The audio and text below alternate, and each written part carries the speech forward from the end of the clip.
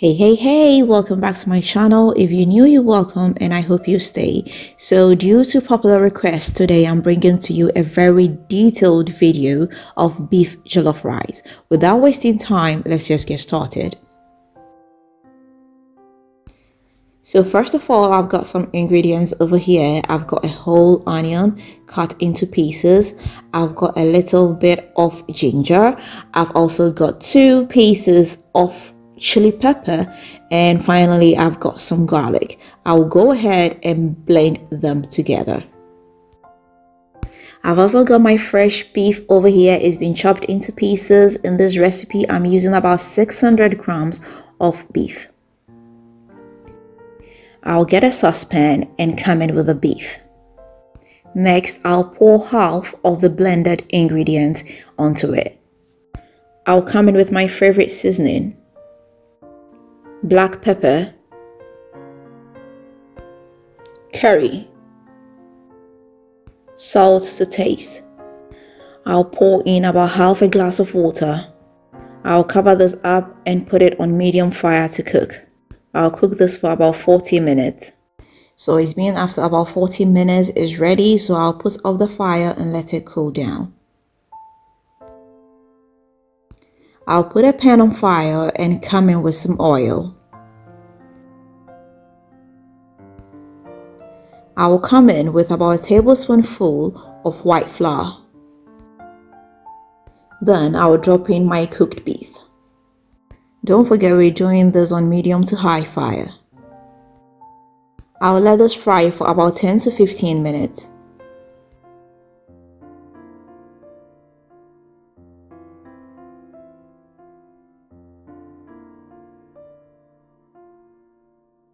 As you can see, the meat has fried very well and is so crispy. I will just get it out of the oil.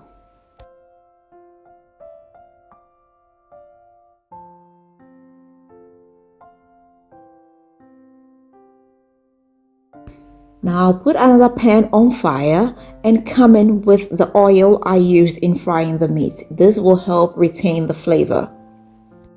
Next, I'll pour the remaining half of the blended ingredients in the hot oil. I'll fry it for about 15 to 20 minutes. This is very essential in giving your jollof rice the best taste ever. You need to make sure all the water has evaporated. So as you can see, it has fried very well now. I'll go ahead and squeeze in some concentrated tomatoes. This will be about a little spoon or 50 grams. I'll give it a good mix and let it fry for about 5 minutes more.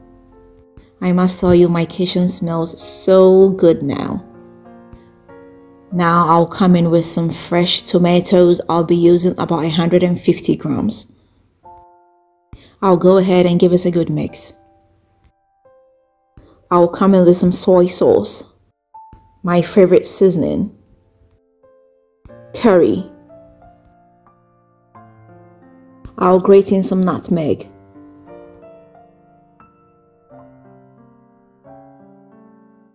And finally, I'll pour in the stock from the beef. I'll give it a good mix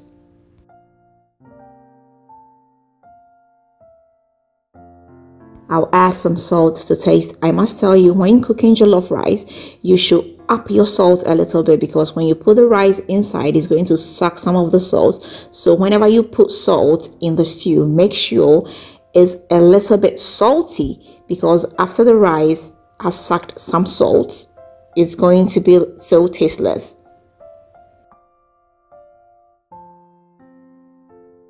Cover this up and let it cook on slow fire for about 30 minutes. This is very essential.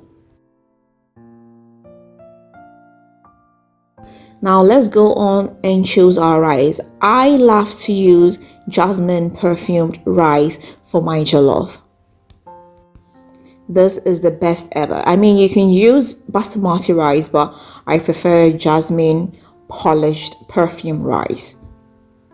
So it's been after about 40 minutes and our stew is ready. As you can see, the water has evaporated and it has really diminished in quantity. This is how you do it, guys.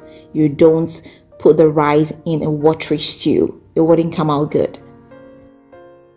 It's time for the rice to go in. Personally, I love to wash my rice before using it. If you don't wash it, you know, it's just up to you. It's a personal choice. Then I'll put my washed rice into the stew.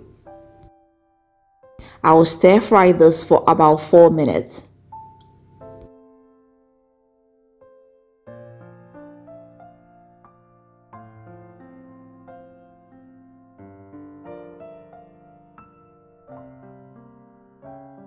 Afterwards, I'll come in with about half a cup of water.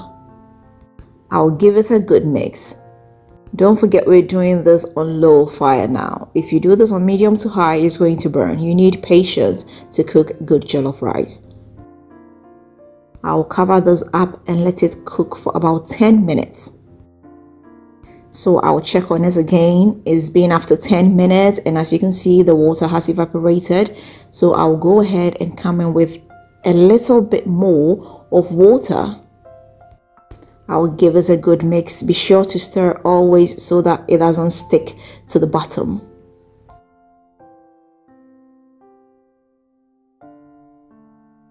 I'll go ahead and cook it for about 10 more minutes.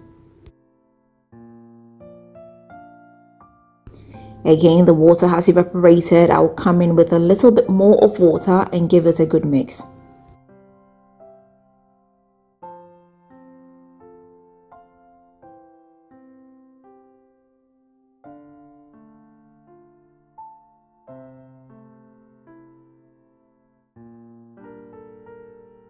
This time I will cover it up with an aluminium foil. This will help trap in all the moisture.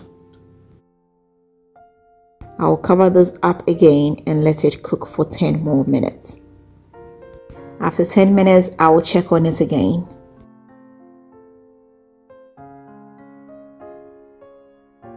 The rice is still not ready but it's got some moisture in it so this time i'm not going to put in any more water. I'll just cover it again with the aluminium foil and let it cook for 10 more minutes still on low fire. So finally it is cooked now. It is ready. The rice is very well cooked. Our jollof rice is ready. Now I will come in with some sweet pepper. This will give it some extra flavor.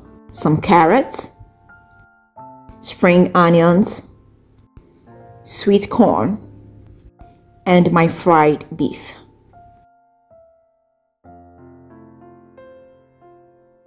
I'll go ahead and mix everything up.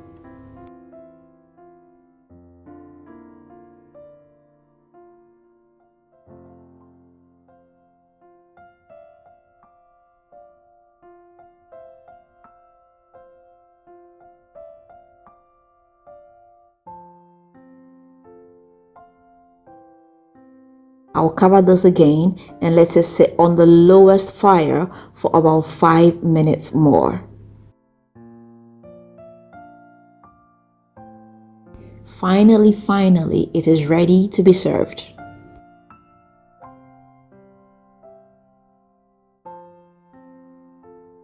Ladies and gentlemen, you are invited to one of my favorite dishes. I must tell you, it tastes super delicious. I wish I could make you taste this, but it's just impossible. You will have to try it out for yourself.